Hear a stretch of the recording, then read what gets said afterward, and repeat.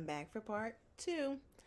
So, part two of Genius, season three, Aretha, episode two. Oh my goodness. This was a hard episode for me to watch. First of all, the first time I played, I was walking around and doing stuff around my house. Um, and then the second time, I I couldn't get into it right away. But by the third time that I played it, I got into it. Okay, I was like, oh, okay, okay, okay. I need to sit down. I need to sit down and watch this. A lot to cover. Okay.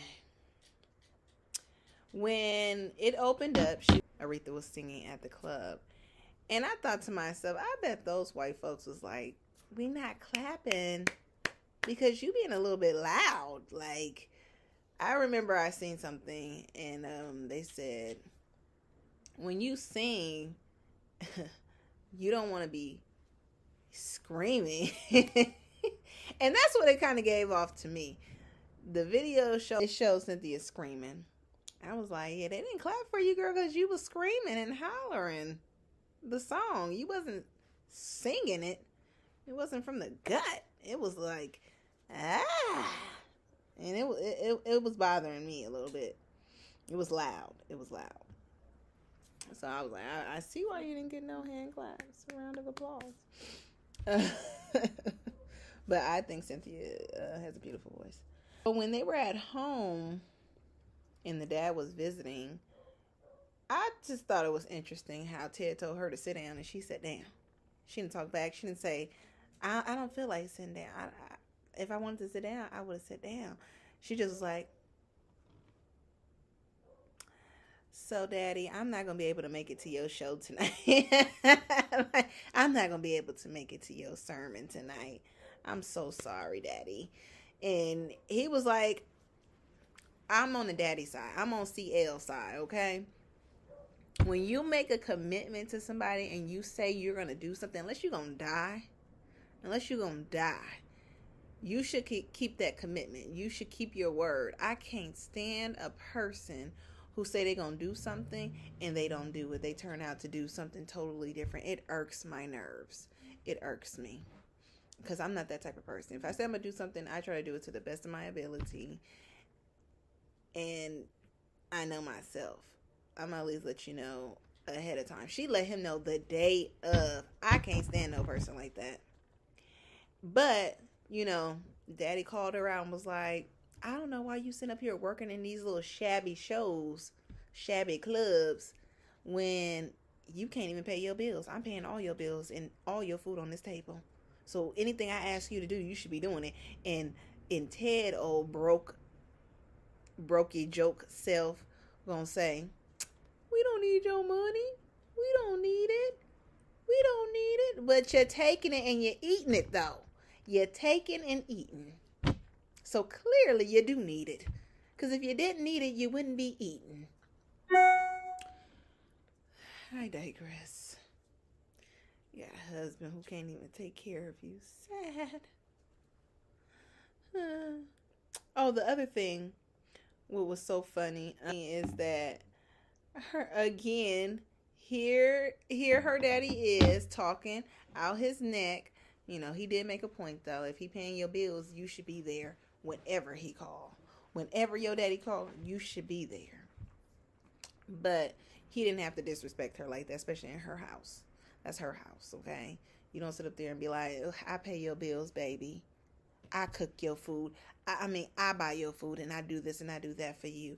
I don't think that's the time. You you could invite me over your house invite me over your house and then talk to me like that. But don't talk to me like that in my house. But she, Aretha, again handled it so well. She handled it so beautifully. She said, I understand if you're too tired to come to my show tonight because of the flight. I totally understand if you don't make it. I was like, I need to learn learn some of those manners. You know, she didn't fuss, she didn't fight, she didn't get all upset in her feelings she just politely told him, You don't have to come if you don't want to. I completely understand and walked off. I was like, uh, Just rub a little bit of that on me. Just a little bit. Cause I would have been all in my feelings. If I was the daddy, I would have been in my feelings. And if I was Aretha, I would have been all in my feelings. I would have been like, "Excuse me, you can't make it." You know, I would have said exactly. You gave me your word, but I would have pressed even harder. Like, no, you. Okay, so I think you understand where I'm about to go with that. Okay, and if I was Aretha, I'd like, "Excuse me, there's the door." But she needed that money. That's the thing. She couldn't. She couldn't check him. I don't feel like you know, that's two people she couldn't check because she needed them. Kids. Moving on. Mm.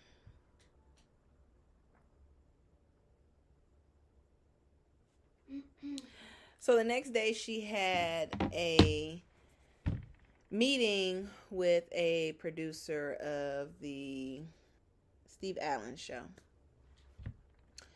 and the husband is a little tipsy. He's not being professional at all in the meeting.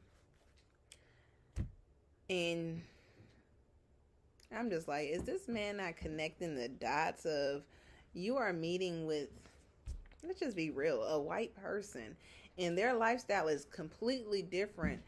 Their lifestyle and upbringing is completely different than ours. So it's not that we have to adjust ourselves, but we need to act like our parents raised us correctly. And he was acting like his mama didn't tell him right or wrong. Um, the other surprising thing that I realized is that the dad still came to her show after. And she had the nerve to be mad that he missed her show. Like, excuse me, ma'am? Excuse me. You better be glad I'm here for this meeting. And I'll get to that later. You better be glad that I'm here for this meeting. Because uh, clearly you couldn't even make it to my sermon and sing a little whoop de whoop de whoop. the daddy better than me because I would have been real petty. Real petty, okay? So the man politely tells her no, you can't come to the show. Um, because the husband was pushing and the the one thing that I did observe, rightfully so, is that people don't address that man at all. They don't care for that man at all. They that that that, that man was like, anyways, Aretha. Anyways, um, he was like, so what? What you want to do? Are we gonna do the show or what? you were so amazing. I've heard so many great things about you. Like, don't even care that this man is sitting at the table with them, okay? Have a wonderful day. And got up. And she's the only one who can connect the dots of saying, he said no. You didn't get that? What does Wooty Whoop got to do with this? He clearly was saying no, honey. Um, yeah, I, I, I was also wondering in the previous um, episode, in episode one, when he said, All of our hard work has paid off, um, why she felt like he didn't do nothing when he clearly got you to this point. That's what I thought. And then I seen that meeting I was like, oh no, he didn't get her there. he didn't get her there. She got herself there clearly it's being saw. She was her own manager. She was her own representative. Like she didn't need none of them.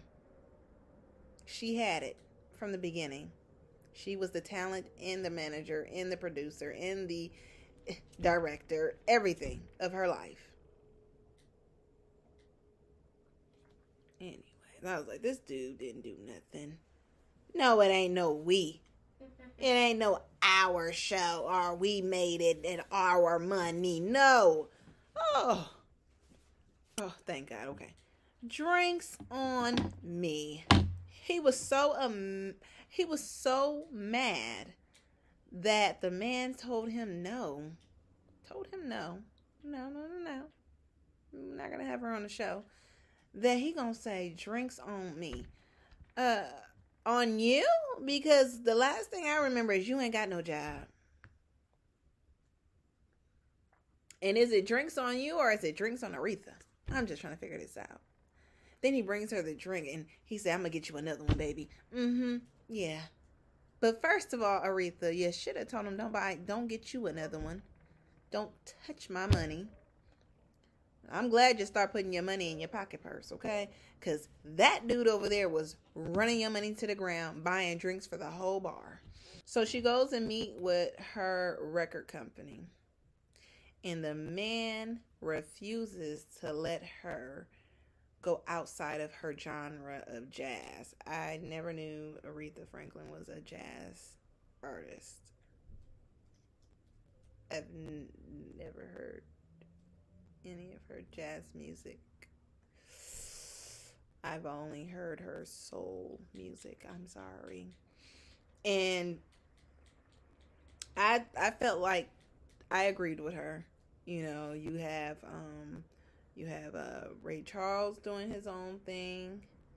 You have um um she basically said she wanted to be uh like those artists on his wall known for her own personal identity, her own creativity. And he wasn't really trying to hear that, but he was like, You making me some money, so I might as well see what you can do. What I didn't like about that part was he threatened her like DB threatened Jocelyn, okay? Threatened the hell out of her and said, I'll put you back on the circuit. I was like, wow, sir. If it doesn't work, you can just go back to the gospel music. I'm like, oh, oh, wow, we're threatening. Like, no support, no nothing. Okay. I was like, you better watch out, but DB.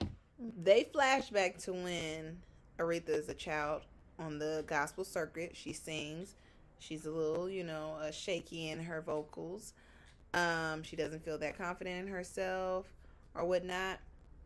And she's uh talking to the other woman that sung. And she, you know, com- commends her and everything and, you know, tries to imitate her. She goes up to a man with a guitar. A man.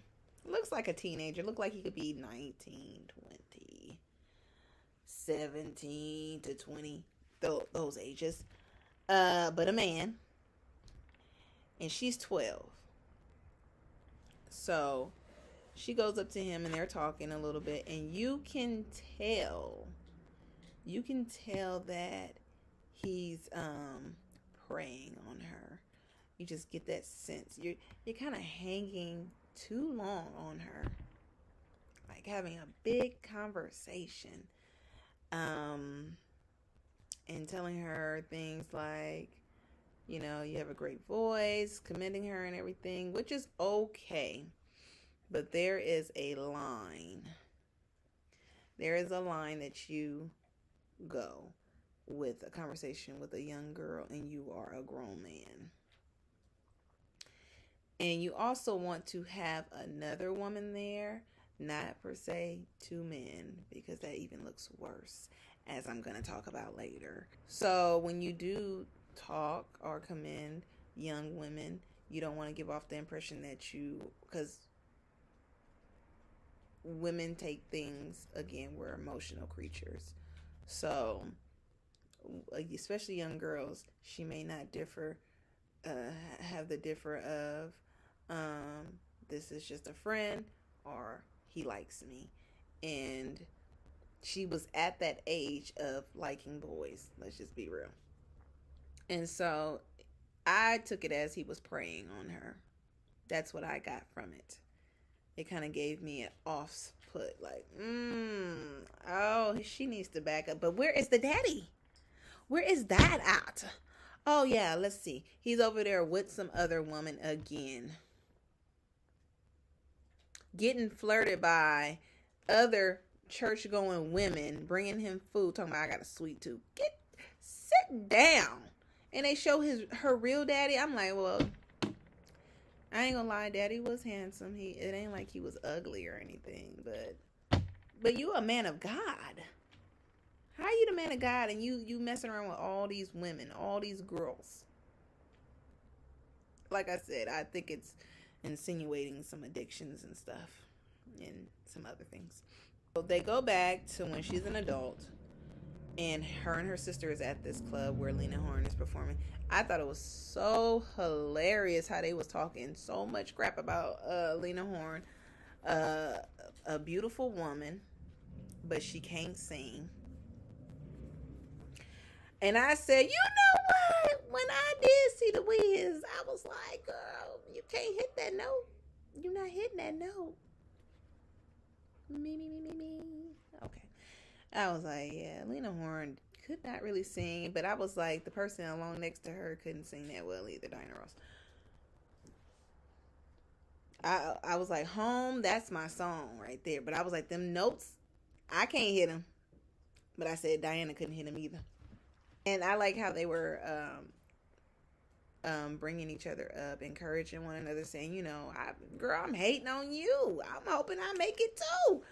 I'm wondering if you gonna make it. We over here on different um, record companies, and neither one of us could get a top number one, a top five, nothing. But look at Lena, who can't even carry a note, making all the number ones. Mm. Better get them looks. But the one thing that um, Aretha said is that Lena Horne was doing the music that she wanted to do, speaking her mind, saying how she felt and that's what she wanted to do. So, and she had beautiful gowns, and she was elegant, and all these things. And so she decided to ask her pimp daddy. We find out. Can I get a moment? I was with the sister, like, I'm so tired of you. Tired. Bye. Go away. Ted. God. He had the audacity to say that he was a pimp she gonna say, I don't like the the lifestyle you living, but you're living it with him. You're living it with him.